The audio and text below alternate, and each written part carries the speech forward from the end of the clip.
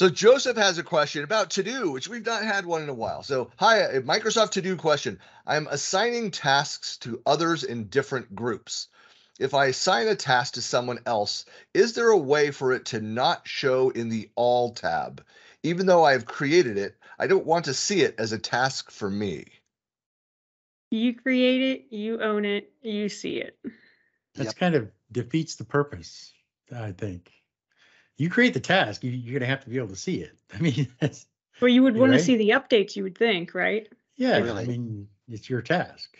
Yeah, if you're a manager, if you're a project manager and you're creating the tasks but assigning other people to it, you still you're in, an invested partner in that task Because you, being yeah, it, fulfilled. it, yeah, and it's in the all tab where it should be. I mean, it's, you Right. know, that's Yeah. because it's everything that you requested, so.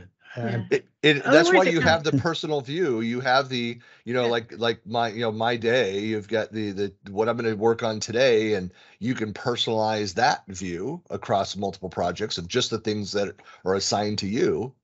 Yeah. Otherwise, it kind of comes vaporware, right? So like you assigned it and it's just like gone. You don't know if there if it's ever gotten done, if there's been any progress whatsoever, if there's any notes. What if that person leaves the company? Then you have no idea what happened to that task, right?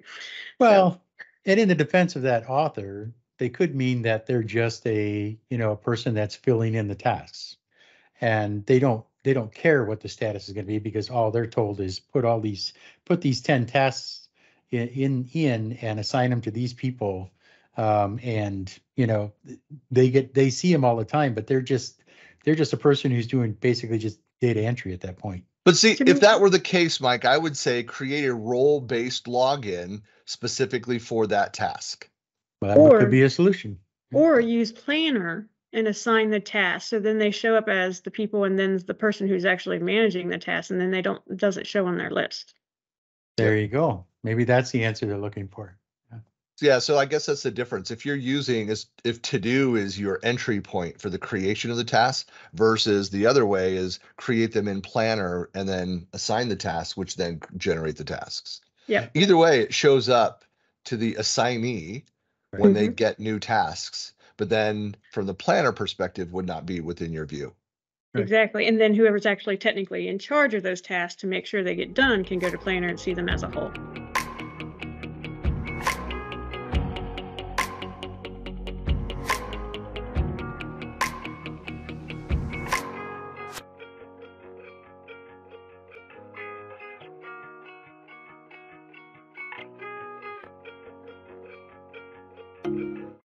I think this is our we've had- had a to-do question in a long time, so It's been a while. exciting. Okay. Can't you just see the excitement? on Yeah, so excited, Mike. You don't even know.